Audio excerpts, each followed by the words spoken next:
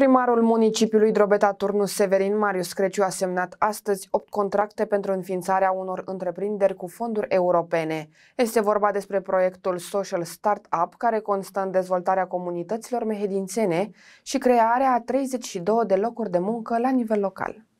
Primăria municipiului Drobeta Turnu Severin, în parteneriat cu Camera de Comerț a județului Galați, au lansat un nou proiect pe fonduri europene numit Social Startup, care sprijină înființarea a 24 de întreprinderi sociale. Obiectivul general constă în dezvoltarea comunităților locale și crearea 96 de locuri de muncă în regiunea sud-vest, Oltenia, Sud-Muntenia, Sud-Est și Vest. Opt mehedințeni au câștigat concursul, iar astăzi au fost semnate contractele. Am plăcerea și onoarea să semnez astăzi uh, 8 contracte în, uh, uh, pentru înființarea unor întreprinderi cu fonduri europene. Vorbim aici de proiectul uh, SUS, Social Startup Ape, finanțat în cadrul programului POCO. Vorbim de 85.000 de euro pentru fiecare uh, uh, întreprindere înființată și patru locuri noi de muncă. Este un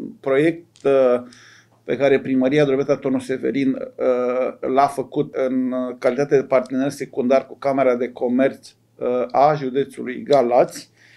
Căutăm și am căutat tot timpul în acești ani să uh, mergem pe orice proiect pe care noi îl considerăm uh, uh, viabil și valabil. Aici am făcut cu Camera de Comerț uh, din Galați, dar avem și cu Camera din Comerț uh, Mehedinți, uh, avem proiecte făcute și cu Universitatea din Craiova, și cu Cladovo, și cu Negotin, oriunde s-a putut merge pe parteneriat cu diferite instituții, primării și alte zone, am făcut-o pentru că așa este normal să aducem cât mai mulți bani Uh, europeni în uh, Drobeta, Turnul Severin și în județul Mehedinți.